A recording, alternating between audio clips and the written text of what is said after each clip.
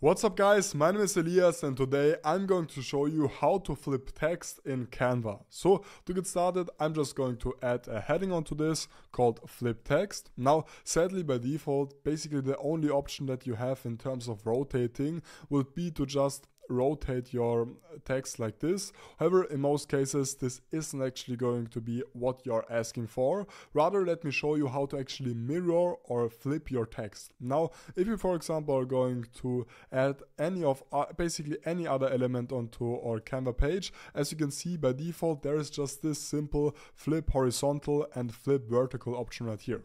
However, sadly with the text, they don't have this actually. So we do have to actually do a workaround for this. So simply just make your text a little bit bigger and then click on share click on download and then make sure to actually download your text as a PNG. Now actually also make sure to tick transparent background. This actually is a paid feature. However, you can get yourself a Canva free trial by using the link down below. Either way, I'm just going to download this right now.